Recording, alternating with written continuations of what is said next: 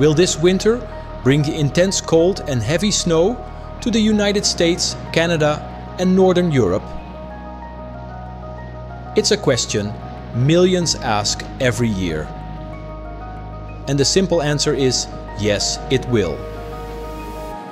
But this winter, the weather can be more extreme than usual.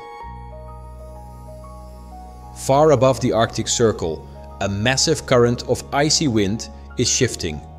Most people never see it, never hear it, and often never even know it exists. Yet, when this hidden force weakens, it can unleash the kind of winter that defines a generation. This high altitude engine has a name, the polar vortex. Now, subtle changes in the stratosphere suggest that the vortex may be entering a volatile phase. And with the growing prospects of a La Nina year, this winter could become one of the coldest in years. This is the story of the force shaping your winter, why it sometimes collapses, and what the latest signals reveal about the months ahead.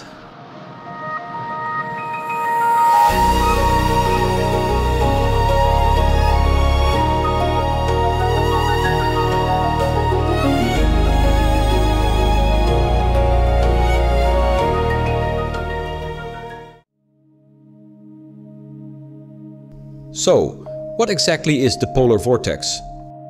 Well, it isn't a storm, and it's not new. It's a giant ring of cold westerly winds high up in the stratosphere. That's the layer of the atmosphere about 10 to 50 kilometers above your head.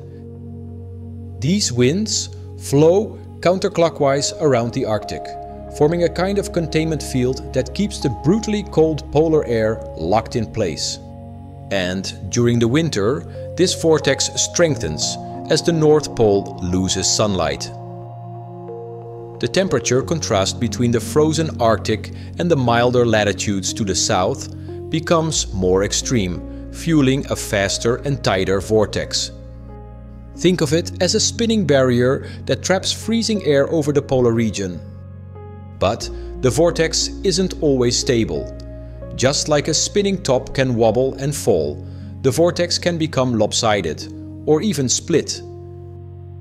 When that happens, chunks of polar air can escape and surge southward. These outbreaks are what lead to severe cold snaps in places far removed from the Arctic, like Texas or parts of southern Europe. One famous example is February 2021. A sudden weakening of the polar vortex led to a blast of Arctic air that plunged deep into the southern United States.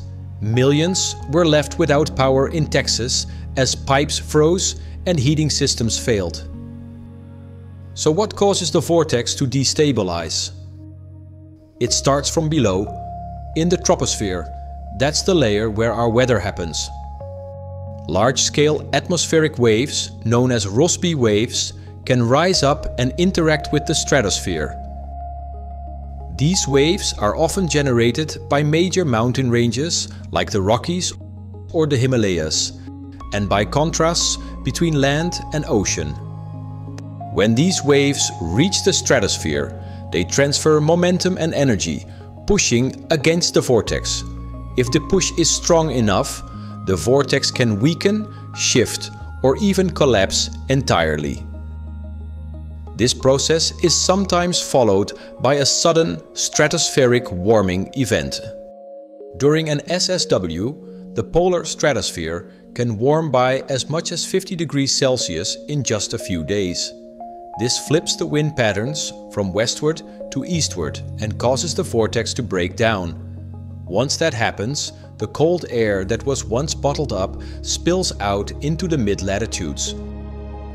Not every SSW leads to extreme winter weather, and not every winter storm is caused by one, but there's a strong link. On average, when an SSW occurs, colder than normal temperatures tend to follow in parts of Europe, Asia and North America. While the vortex itself is a stratospheric phenomenon, it doesn't exist in isolation. Its behavior is influenced by broader climate patterns, including the quasi-biennial oscillation, or QBO, and the El Niño Southern Oscillation, which includes both El Niño and La Niña phases. Let's start with the QBO. High above the equator in the stratosphere, winds alternate direction approximately every 27 months. This flip-flop between westerly and easterly winds is known as the QBO. In an easterly QBO phase, like the one we're in now, the conditions are more favorable for a disrupted or weakened polar vortex. Why? Because the easterly winds in the QBO phase tend to amplify the upward propagation of Rossby waves into the stratosphere. More wave activity means more chances for the vortex to be disturbed. And then there's La Nina, a cooling of sea surface temperatures in the tropical Pacific Ocean. La Nina affects weather patterns globally, shifting storm tracks and changing jet stream behavior. In North America, La Nina winters often mean more precipitation in the Pacific Northwest, drier conditions in the southern US, and colder outbreaks in the central and eastern parts of the country. When both La Nina and an easterly QBO are present, as they are now, the stage is set for increased instability in the polar vortex. That means a greater risk of cold air outbreaks, disrupted jet streams and extreme winter weather. So the big question is, what can we expect this winter? Well, meteorologists are spotting some early warning signs. The early outlook for 2025 to 2026 suggests that the polar vortex might not hold as strong as usual. That means cold Arctic air could have a much easier time slipping south, reaching parts of North America and Europe that normally stay milder. If this happens, we could be looking at a winter with more snow, deeper freezes and possibly an early start to the cold season. Let's look first at North America. Meteorologists are now tracking signs of a possible early disruption in the polar vortex. Forecast models from NOAA and ECMWF show that a sudden stratospheric warming is already underway or just about to begin. This is extremely rare for this time of year, making it one of the earliest SSW events ever recorded. If this warming continues to develop, it could send Arctic air spilling south just in time for December.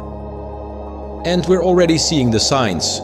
By mid-November, snow has already made an appearance in cities like New York and Chicago, much earlier than usual. Temperatures have dipped sharply in parts of the Midwest and Northeast, matching the patterns we'd expect when cold air escapes the Arctic. With La Nina still in place and the QBO now in an easterly phase, the ingredients are coming together for a colder than average December in many parts of the US. The Great Lakes, Midwest and Northeast are especially likely to see increased snow and colder conditions.